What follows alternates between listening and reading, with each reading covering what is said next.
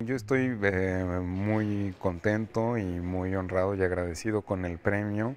Em, en primer lugar porque es en memoria de, Joaquín Shirawi Casa, eh, un poeta que murió joven, y, pero que dejó poemas muy buenos y pues me parece increíble que exista este premio que, pues, que reconoce el trabajo de gente joven que escribe poesía.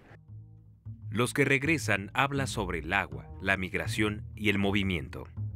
El libro tiene algo de, migraciones y los que regresan en el libro son muchos. Por un lado hay como algo de los desaparecidos en el país, por otro lado hay, el libro arranca con una, con una especie de migración, es un grupo de personas que recorre un territorio pues mutilado, violentado, buscando agua y es como la zona lacustre del Valle de México y están como volviendo y buscando el agua y los ríos que ahora pues están vivos pero entubados en la ciudad. El libro está dividido en tres partes eh, y las tres partes se llaman igual. ¿no?